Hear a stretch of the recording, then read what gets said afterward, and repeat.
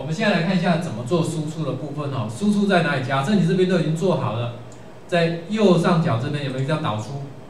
那么 AT Print 的话呢，它本身它本身在这种所谓的视讯的剪辑，还有输出视讯都是完全免费的，所以你不会看到任何什么浮水印啊或时间的限制。但是呢，如果你想要输出就是视讯以外的这些功能，那这个时候呢，你还是全功能使用，也没有时间限制。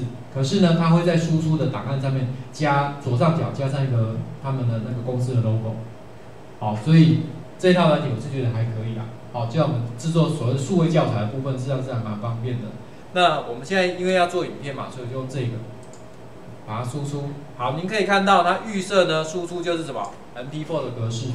好，MP4 的格式档案，因为它是 MP4，所以通常会比我现在用的 Debug Video 克球这个大一点点，但是呢，不会，就是至少跟我们一般 DV 录起来还是相对比较小。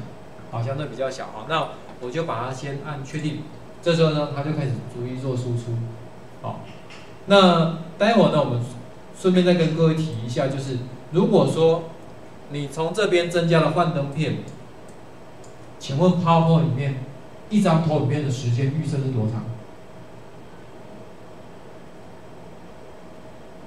如果你个别按，那那没关系啊。可是如果你是让它自动播放的话，是不是可以指定投影片播放的时间？那 AD Printer 呢？预设是三秒钟。好，就是如果你在这边增加一个空白的投影片的话，它进来，你看这里有没有是三秒钟？对不对？那这个地方是可以调整的。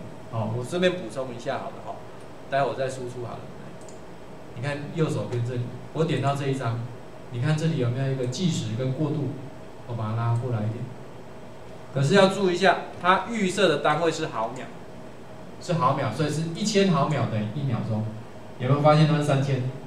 好，所以您可以自行透过这边调整。那它有没有所谓的转场效果？也有，但是它不多啦，因为它本身不是特别拿来做简报的软体，所以转场效果对它来讲就那么一点点而已。